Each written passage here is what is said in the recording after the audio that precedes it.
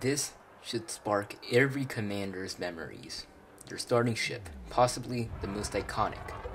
The Sidewinder, created by Faulcon DeLacy. A starter ship whose purpose is, um, nothing. That's because the stats on the ship are the worst in the game, and it's a ridiculously cheap and useless st- starter ship.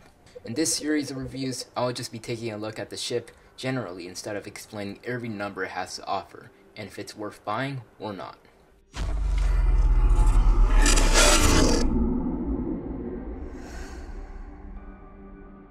Coming in at only 32,000 credits, this is the cheapest game the game has to offer. However, because it's cheap, it's absolutely horrible at many tasks. Combat? The two small hardpoints say no, and it's a really fragile airframe anyway. Exploration?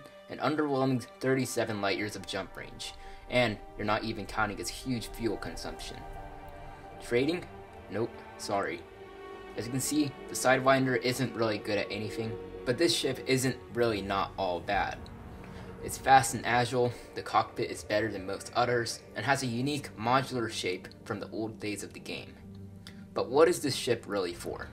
From a gameplay standpoint, nothing. It's actually more of a symbol of being the new commander. Because every pilot starts out with these, it's very iconic, maybe even more so than the Cobra. And anyone using the Sidewinder are either new or like to use it as a PvP ship for challenges. However, it's fast, agile, and can be simply a fun ship to fly around in, and can also be used as a training ship for new pilots in the Pilots Federation due to its low price and agility, and doesn't have to serve in a career except training. So should you buy the ship?